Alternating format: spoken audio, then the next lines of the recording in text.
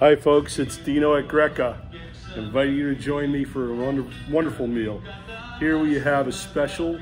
It's a black mullet, beautiful fish. You find them all over uh, the Mediterranean. You find them here on the eastern seaboard as well.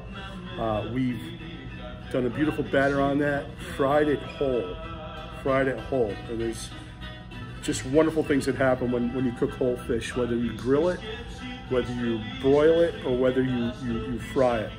Uh, so we're going to enjoy that. We've got a little bit of skordalia, which is a cold garlic potato dip with beets, beetroot, corn on the cob. This is a wonderful special. And this, look how this, we've, we've, we've done a little work here for you so the, the, the meat falls right away from the bone. And here, let me see. I'm just going to just separate that. Look how easy that comes off. That's so beautiful. Nice, nice, nice, nice. There we go.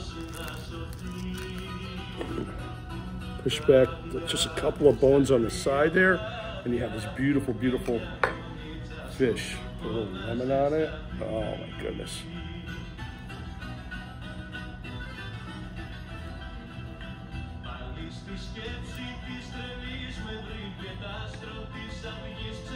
Oh. Beautiful white meat. Delicious, beautiful, beautiful fit flake with a little bit of firmness. Cooked perfectly. Come and enjoy beautiful black mullet, fried whole, crispy whole. Enjoy this.